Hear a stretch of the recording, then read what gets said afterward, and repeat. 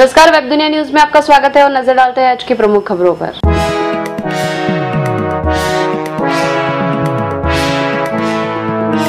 प्रणब मुखर्जी को Ivory coast का सर्वोच्च सम्मान। राष्ट्रपति प्रणब मुखर्जी को तीन अफ्रीकी देशों की यात्रा के तीसरे चरण में आइवरी कोस्ट पहुँचने पर देश के सर्वोच्च सम्मान राष्ट्रीय ग्रैंड कोइक्स से सम्मानित किया गया। मुखर्जी का यहाँ पहला विदेशी सम्मान है। विदेशी मंत्रालय के सचिव अमर सिन्हा और राष्ट्रपति के प्रेस सचिव राजीव वेणु मणि ने कहा की राष्ट्रपति की यात्रा को लेकर लोगों में यहाँ बहुत अधिक उत्साह देखने को मिला। राष्ट्रपति ने अपने समकक्ष अलास्के अत्तारा के साथ द्विपक्षीय वार्ता की। इसके बाद अत्तारा ने मुखर्जी के सम्मान में शाम को एक भोज का आयोजन किया। राष्ट्रपति को यह सम्मान भोज से ठीक पहले प्रदान किया गया।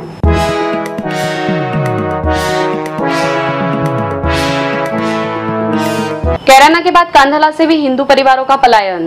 उत्तर प्रदेश के कैराना में 346 हिंदू परिवारों के पलायन करने की सूची जारी कर सूबे की राजनीति में भूचाल लाने वाले भाजपा सांसद हुकुम सिंह ने मंगलवार को कांधला कस्बे में तिरसठ परिवारों के पलायन की सूची जारी कर दी। सिंह ने कहा कि कैराना की तरह कांधला में भी रंगदारी और हत्या की घटनाओं के दहशत के चलते तिरसठ परिवारों को घर छोड़कर अन्य स्थानों पर कूच करना पड़ा। सांसद ने इसके लिए उत्तर प्रदेश में बदहाल कानून व्यवस्था को जिम्मेदार ठहराया और राज्य में राष्ट्रपति शासन लागू करने की मांग की। इससे पहले भाजपा सांसद ने केराना कस्बे में बदमाशों द्वारा व्यापारियों से मांगी जा रही रंगदारी न देने पर हत्या करने और वर्ग विशेष के लोगों द्वारा हिंदू परिवारों को धमकी देने के चलते 346 परिवारों के पलायन की सूची जारी की थी।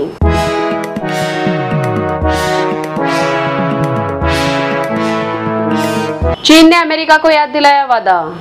चीन ने अमेरिका के राष्ट्रपति बराक ओबामा के साथ दलाई लामा की संभावित भेंट और ताइवान की नई राष्ट्रपति की भावी अमेरिका यात्रा से पहले वॉशिंगटन को पृथकवादी गतिविधियों का समर्थन नहीं करने के उसके वादे की याद दिलाई है।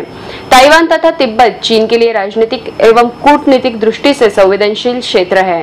इनकी गतिविधियों को लेकर वह दूसरे देशों को आगाह करता रहता है। चीन के विदेश मंत्रालय के प्रवक्ता लू कंग ने कहा कि दोनों क्षेत्रों से संबंधित मुद्दे उसकी नीतियों से जुड़े हैं। चीन दोनों क्षेत्रों को अपना हिस्सा मानता है और दूसरे देशों को भी अपने इस रुख को स्वीकार करने के लिए दबाव डालता रहता है। दलाई लामा इन दिनों अमेरिका की यात्रा पर है और वे आज व्हाइट हाउस में अमेरिकी राष्ट्रपति ओबामा से मिलने वाले हैं।